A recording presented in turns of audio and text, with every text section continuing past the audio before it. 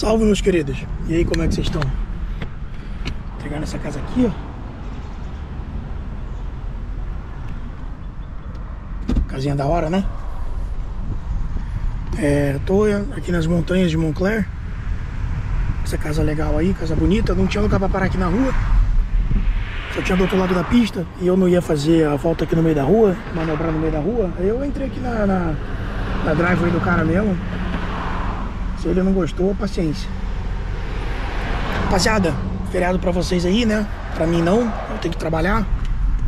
Aqui é quinta-feira. Mesmo que fosse feriado eu ia trabalhar também, né? então assim, rapaziada, é... Comecei tem, tem pouco tempo. São, são meio dia e meio aí. É, eu fiz. Entreguei quatro, tá? Eu tô mais ou menos uma hora trabalhando aí beleza? já tô com o outro aqui no carro, tô indo levar a quinta, eu entreguei essa agora, mas era uma entrega dupla. Peguei dois pedidos do mesmo restaurante, né? Então, é, facilita a minha vida aí, né? E agora eu vou até West Orange, eu tô a quase 4 milhas de lá, mas era uma entrega boa, rapaziada. Era uma entrega boa. Então, valeu a pena aí essa entrega aí. Tinha acho que umas 5 milhas a entrega, mas tá pagando uns 13. 13 ou 14. E o, o DoorDash, ele tem um negócio que ele te mostra um valor da entrega e ele bota assim, é, a possibilidade pode ser maior, sabe? Então quando você pega pedidos que são, que são grandes, é, seis itens, sete itens, oito itens, tem a chance do valor dela ser maior, né? E consequentemente a gorjeta também maior, porque a maioria dos aplicativos, tipo assim, aqui, pessoal, a galera paga gorjeta é baseada em porcentagem porcentagem do do valor da entrega, tá? Mas aí, sei lá, se você não se você acha que ficou muito alta, vai ser um, muito dinheiro para você dar de gorjeta, aí você dá o quanto você acha que dá para você pagar, entendeu? Mas o importante é você dar uma gorjeta que é uma coisa cultural. Então, é muito difícil aí você fazer um, esse tipo de trabalho e você não ganhar gorjeta, tá bom? É, quando eu trabalhava com Uber antigamente, a gente, a gente não sabia quanto que vinha de gorjeta nas entregas. O Uber ele só te informava o valor base. Então, galera, assim, se eu fazia 20 entregas no dia, tinha, sei lá, no máximo umas quatro que eu não ganhava gorjeta, sabe? Nem que fosse um dólar, dois dólares. Mas para ganhar nada, assim, era sempre, sei lá, 20% das entregas, 25% no máximo, estourando. Então as gorjetas aí é algo realmente que é cultural, rapaziada. Faz parte da cultura já do americano, beleza? Inclusive, ó, se eu não me engano, é garçom, né, de restaurante. Eu acho que é a única profissão aqui que o, o trabalhador ele ganha menos que o salário mínimo, tá? Porque grande parte do salário dele vem das gorjetas, entendeu? Não sei se isso é bom, não sei se isso é ruim, não sei o motivo disso, mas é assim que é. Tranquilo? Só essa região aqui, ainda estamos em. Estamos do outro lado de Montclair aí, estamos indo para é, West Orange, também é outra área boa, é aquela área que a gente andou no último vídeo também. E tá, agora começou a me chamar muito no Uber. Não tava me chamando nada. Eu vou até ficar offline aqui. Quando eu estiver chegando lá no endereço, eu fico online de novo. O pessoal da grama aí, ó. Geralmente eles levam uma picape puxando um trailer. E dentro desse trailer eles botam todos os equipamentos aí, rapaziada. Cortador de grama, roçadeira, é, aqueles sopradores, né? Soprador de folha.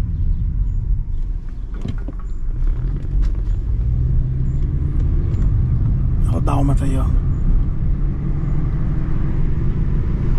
Tranquilo, povo? Então, vou fazer essas entregas aí. E meu dia hoje, eu tô achando... Assim, eu tô achando que vai dar bom, galera. É, começou meio ruim, tá? É, no começo não tava chamando, mas agora tá chamando uma atrás da outra. E é isso aí, rapaziada. Tranquilo? Vamos ver quanto a gente consegue fazer de grana aí hoje. Casa linda, ó. Vamos ver o que, que sai de grana aí hoje. E é isso. Show? Então eu já volto com vocês aí, rapaziada. E aí, galera. entrega efetuada ali. Dá uma olhada na casa.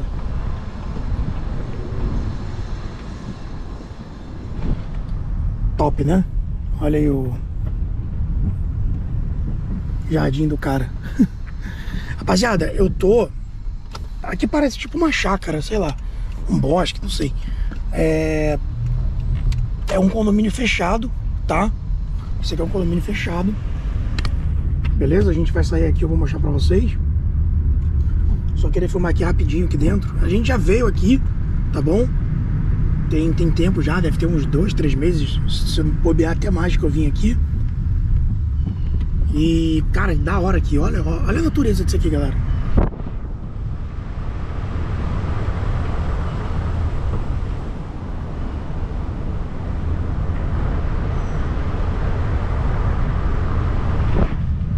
Da hora, né?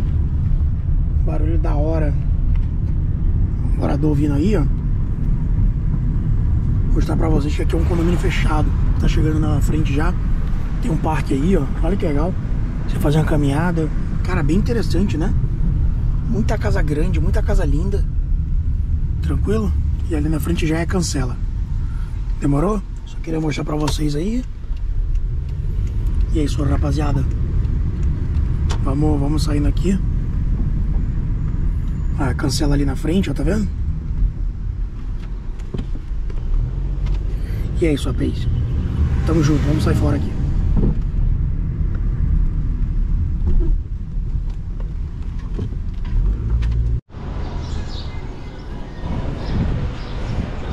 Aí, ó. Tá aí uma, uma coisa que tá em falta aqui nos Estados Unidos, hein? Mecânico. Você é bom de mecânica aí, ó. Oportunidade pode estar tá aí, ó. Eu entreguei nesse prédio aqui, ó. Mas, cara, o pior lugar pra entregar é esse aqui, cara. Porque não tem lugar pra parar. E eu tive que parar lá embaixo. Pelo menos vocês vão comigo lá, vão fazendo companhia.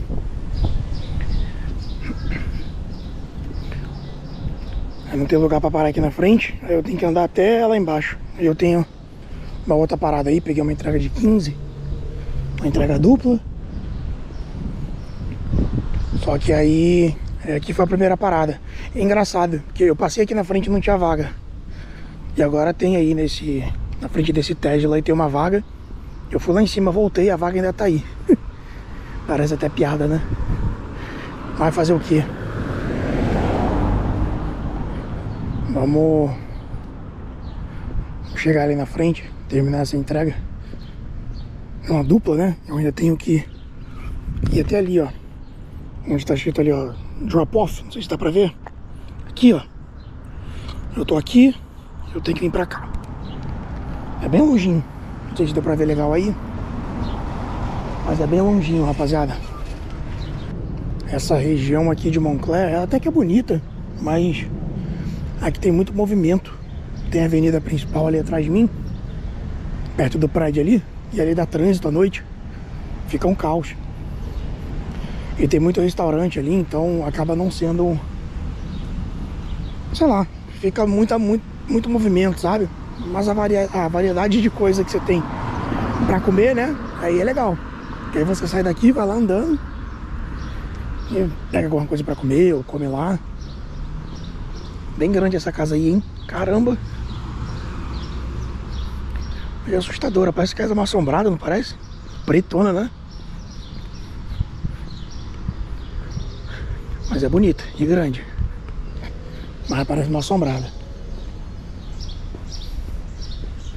Meu carrinho tá ali. Show. E vamos ali fazer a outra. É. Assim, eu tô indo tranquilo, não parei ali nem nada. Cara, o pessoal mora no prédio, não tem lugar na frente pra parar. Eu nem me preocupo, sabe? Assim, eu nem. Eu nem esquento a cabeça. Eu paro longe e levo lá a comida dele, não tem problema. Sabe qual que é problema? Tipo assim, se a, a, a, comida viesse aberta, eu ia soprando a comida dele daqui até lá pra ele comer a comida fria, pra ele nunca mais deixar de descer, né? Ó, pra vocês terem ideia, lá onde eu moro, na, é, lá na frente, tem lugar pra parar, tá? E eu sempre vou lá na porta receber minha comida, entendeu? Porque, sei lá, eu, eu não acho muito legal não, de Ah, não, tem que trazer aqui em cima, tem que trazer minha comida aqui porque eu tô pagando. Ah, fala sério. Olha, olha o atraso que eu tive só por causa dessa entrega aí, né? O motivo, sei lá, deve ser futilidade. O cara, o pessoal não pode descer. Eu, hein? Isso aí aqui é meio, é meio zoado, isso aqui que eu tô meio apertado nessa vaga. Deixa eu dar só uma resinha só pra garantir ali que eu não vou tocar nesse carro da frente. Eu tô quase tocando de trás também. Bom. Saímos. Show? Eu vou jogar aqui a rota no GPS. O Grab Hub ele não tem GPS integrado nele. Eu acho isso horrível. Todos os outros aplicativos têm. O, o Uber e o DoorDash, assim, o Uber ele tem o GPS dele, né? Mas ele também tem um sistema de integração com o Google Maps. E o DoorDash também tem esse sistema de integração com o Google Maps. Então, a Amazon também não tem o GPS próprio. Assim como o Grab Hub. E eu acho péssimo, péssimo. Aqui no Nordeste, tu aperta um botão ali de navegação, ele já ele fica dentro do aplicativo. É como se ele ficasse aqui dentro do aplicativo, mas a, a, a telinha aqui do meio, né, do mapa, fosse a, o do Google, né? O GPS do Google Maps. Dá uma ajuda do caramba, porque é mais rápido, você não tem que ficar trocando de aplicativo. Você tem que mexer no celular, tem que ficar trocando de aplicativo, é, de aplicativo mexendo no celular e tal. Beleza? Aí o pessoal da grama aí, ó. O pessoal da grama aí, ó landscaping. Tranquilo? Tem um Popaizão ali, nunca mais peguei naquele Popai. Horrível pegar ali, horrível, horrível, horrível. É, os pedidos que saem ali, cara, demora. Cara, demora muito para sair pedido ali. O atendimento é péssimo, péssimo, péssimo. Então eu nunca mais peguei pedido ali. Gasolina no posto Exxon. Esse Exxon deve ser alguma coisa a ver com a ESSO, né? Porque o nome é parecido, tem um tigre também. Não sei, não é possível que não seja o ESSO, sei lá, dos Estados Unidos. Tá 5,40 aí o combustível, tá caríssimo aqui. Sendo que nos outros postos você tá achando até por 4 e 4,85. Então tá dando uma diferença grande aí nesses postos. Nessas maiores bandeiras aí. Tranquilo? Vou levar esse pedido aí, galera. Vamos lá.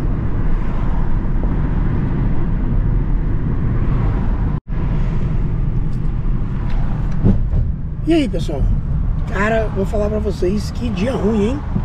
São 6 horas da tarde, não tá chamando nada. Eu fiz, fiz uns 100 dólares só. É, assim, vocês devem estar tá falando, caraca, 100 dólares? Pô, é uma grana legal. É, mas a padrão aqui dos Estados Unidos é um salário de uma de qualquer pessoa iniciante, né? Se for trabalhar numa obra, por exemplo, é o que você tira. E outra, é, são 100 dólares, mas por dia aí eu gasto em média 20 dólares de combustível, então é como se eu estivesse saindo com 80, né? Fora as outras coisas, né? Custo do carro, etc. Que aí eu não sei exatamente quanto que eu gasto por dia, né? Questão de óleo e tal. É, gasto de pneus, as coisas que eu não fico calculando esse negócio. Mas com certeza aí é, é abaixo de. abaixo de 80 dólares aí, que é meu lucro do dia. O Maczão aí, ó. Esse é o Mac que eu venho direto aí. Shoprite. Eu vou no Shoprite, mas eu vou lá perto de casa. Tem que pegar água lá, galera. Tô sem água. E eu não fui até hoje. Tô bebendo água da minha irmã lá, ela vai ficar doida. Beleza, galera? Então eu vou colar no mercado ali rapidão. E aí, saindo de lá, eu falo com vocês. Valeu.